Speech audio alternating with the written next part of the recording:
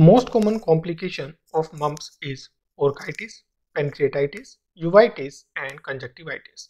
So uh, if you see the mumps, mumps basically is a self-limiting, nowadays it is self-limiting disease and it is caused by virus, right? So it's a viral disease, right?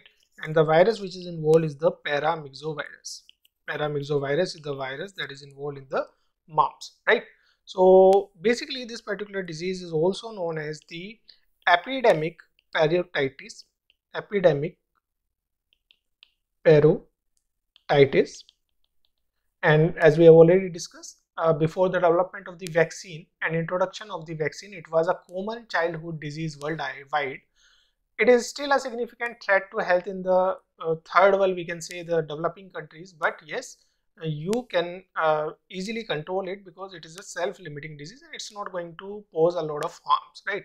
So if we just see the clinical feature of this particular disease so the more common symptoms of mumps are first is the parotid inflammation parotid inflammation.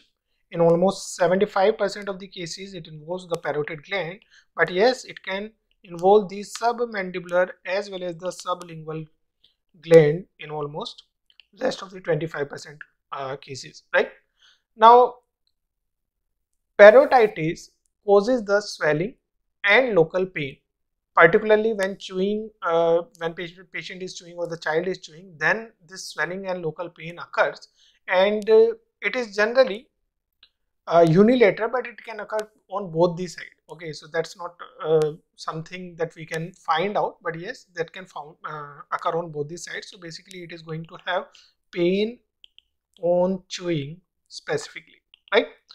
Then the patient due to the infection there will be fever there can be headache there can be pancreatitis and that is basically the inflammation of the affected pancreas. And yes it can have orchitis commonly.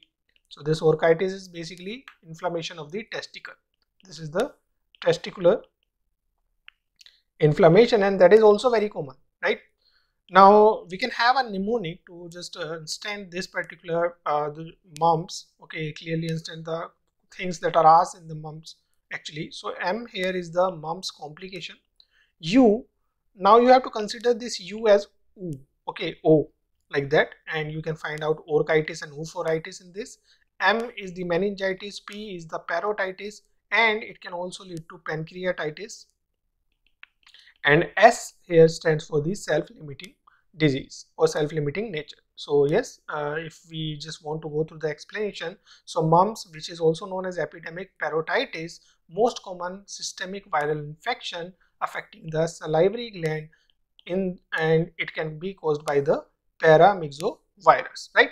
Occasionally submandibular or sublingual glands may also be involved but in almost 75% of cases you are going to have the parotid glands and most commonly they are bilateral but yes unilateral can also be there right? So this disease is self-limiting and it's not a danger right? And other complication which can be there like meningitis can be there 10% and encephalitis can be there then orchitis testicular atrophy and sterility in 20% of young men can be there. So in this question uh, orchitis is the given thing that is there.